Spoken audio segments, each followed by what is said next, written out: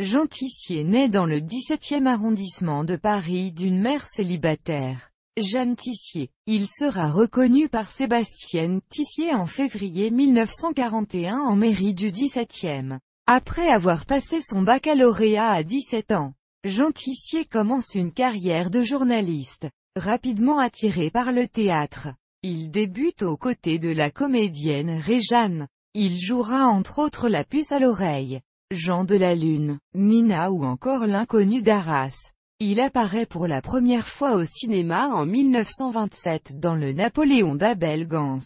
Il épouse en 1934 Louise Georgette Lalire et tourne avec elle son premier film parlant la même année, sous la direction de Jean de Limur. Après une pause de 8 ans, il rejoue en 1934 dans Le Monde où l'on s'ennuie de Jean de Marguena.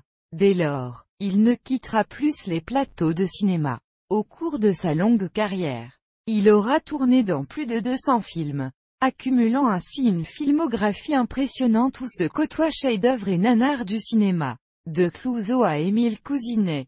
De grands réalisateurs comme Sacha Guitry, Henri-Georges Clouseau, Claude Autant-Lara, Roger Vadim, Christian Jacques, Gilles Grangier, André Cayatte, Marcel Carnet, Claude Chabrol, Jean Delannoy, Jean-Pierre Mocky, Émile Tiredwin Renner feront appel à lui.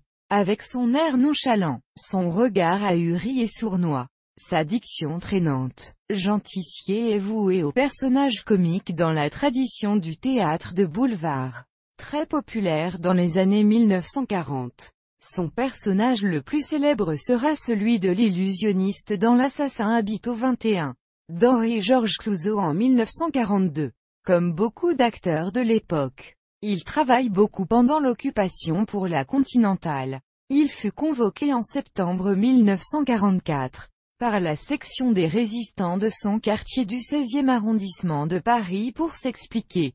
Au vu de son intense activité de comédien, tout ce travail laissait peu de temps pour des activités politiques avec l'ennemi.